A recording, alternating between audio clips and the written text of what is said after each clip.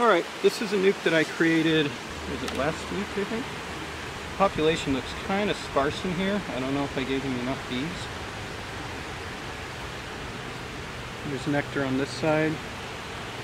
Looks like I did put a queen in here and we'll see if she was released and if she's laying. Looks like there's a dead bee in here. Hopefully it's not the queen. Doesn't look like the queen. Really should start using the push-in queen cages for these types of things. But I've already lost a couple queens. Oh, there she is. So she is doing just fine. She is laying eggs in here. There's young bees emerging on this side of the frame. Oh, there she is.